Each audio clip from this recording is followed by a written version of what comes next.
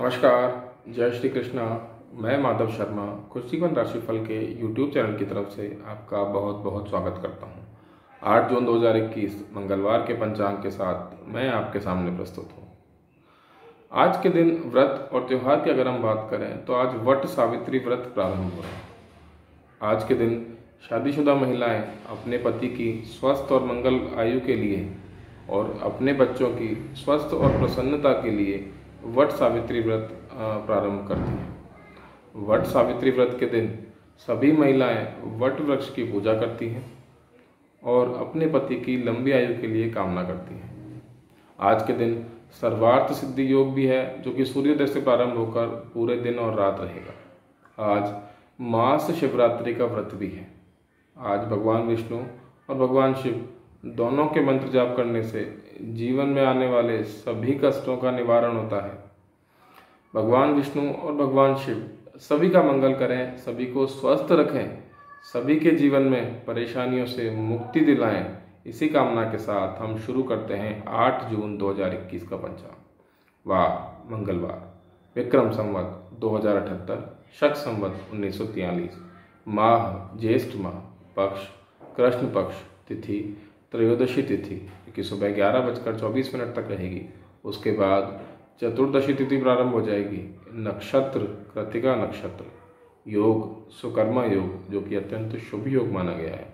करण वणिज करण जो कि ग्यारह बजकर चौबीस मिनट तक रहेगा। उसके बाद विष्टिकरण प्रारंभ हो जाएगा, यानी भद्रा प्रारंभ हो जाएगी।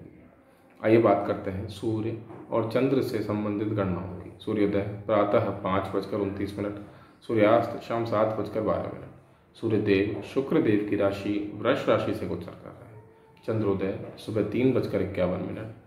चंद्रास्त शाम पाँच बजकर तीस मिनट। चंद्र राशि की अगर हम बात करें तो दोपहर बारह बजकर तेईस मिनट तक चंद्रदेव मेष राशि में रहेंगे। उसके बाद वे अपनी उच्च की राशि वृष राशि से गोचर करेंगे। बात करते हैं शुभ समय की। सबसे पहले ब्रह्म मुहूर्त। ब्रह्म मुहूर्त तीन बजकर अट्ठावन मिनट से और सुबह चार बजकर छियालीस मिनट तक रहेगा। ब्रह्म मुहूर्त में हम अपने इष्ट देव की आराधना और उनका मंत्र जाप अवश्य कर सकते हैं। बात करते हैं अभिजित मुहूर्त की, यानी कोई भी शुभ कार्य अगर हम शुरू करना चाहते हैं और हमें शुभ चौगड़िया नहीं मिल रहा है तो हम अभिजित मुहूर्त में अपना शुभ कार्य शुरू कर सकते हैं। बात करते हैं चौगड़िया की, सबसे पहले रोग का चौगड़िया, जो कि अत्यंत अशुभ समय माना गया है। पाँच बजकर उनतीस मिनट से और सुबह सात बजकर बारह मिनट तक रहेगा। रोग के बाद उद्वेग का चौगड़िया सात बजकर बारह मिनट से और आठ बजकर पचपन मिनट तक रहेगा। रोग का चौगड़िया भी एक अशुभ समय माना गया है। रोग के बाद चर का चौगड़िया, जो कि एक सामान्य समय है, आठ बजकर पचपन मिनट से दस बजकर अड़तीस मिनट तक रहेगा।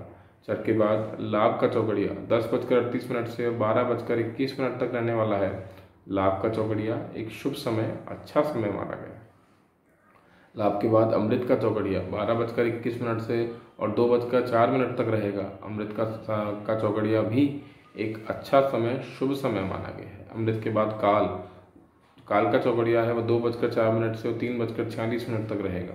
काल एक अशुभ समय है। काल के बाद शुभ, तीन बजकर छियालीस मिनट से और पाँच बजकर तीस मिनट तक रहेगा। शुभ का चौगड़िया एक अच्छा समय है। शुभ के बाद रोग, पाँच बजकर तीस मिनट से शाम सात बजकर तेरह मिनट तक रहेगा। रोग का चौगड़िया एक अशुभ समय माना गया है। बात करते हैं अशुभ समय राहु काल और गुलिक काल की। राहु काल तीन बजे से लेकर और चार बजकर तीस मिनट तक रहेगा। गुलिक काल की बात करें, दोपहर बारह बजे से लेकर एक बजकर तीस मिनट तक रहने वाला है। राहु काल और गुलिक काल दोनों अत्यंत अशुभ समय माने गए हैं। किसी भी शुभ कार्य को हमें राहु काल और गुलिक काल में शुरू नहीं करना चाहिए और किसी भी शुभ समय में इन दोनों समय को सम्मिलित भी नहीं करना चाहिए। बात करते हैं दिशाशूल की, यानी आज किस दिशा में यात्रा नहीं करनी चाहिए तो आज उत्तर दिशा में यात्रा नहीं करनी चाहिए। फिर भी अगर आप यात्रा कर रहे हैं तो आज दिशाशूल का परिहार अवश्य कर लें। आज का परिहार है, यात्रा से पहले आप गुड़ का सेवन अवश्य करें। बात करते हैं चंद्रबल की, यानी कौन कौन सी राशियाँ आज शुभ राशियाँ रहने वाली हैं।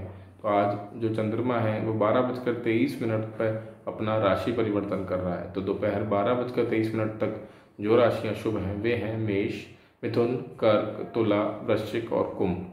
और बारह बजकर तेईस मिनट के बाद जो राशियाँ शुभ हैं, वे हैं वृष, कर्क, सिंह, वृश्चिक, धनु और मीन आइए बात करते हैं, आज जो भी जातक जन्म लेंगे, उनके नाम अक्षर उनका पाया और उनकी राशि की।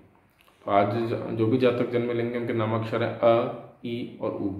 इसमें अ जो है, वो मेष राशि के अंतर्गत आता है, ई और उ वृष राशि के अंतर्गत आते हैं। जन्म पाए की बात करें तो इनका सभी का स्वर्ण का जन्म पाया है। धन्यवाद। अगर आपको हमारा यह वीडियो अच्छा लगे, आप इसे लाइक करें और हमारे खुश जीवन राशिफल के यूट्यूब चैनल को आप सब्सक्राइब करें। धन्यवाद।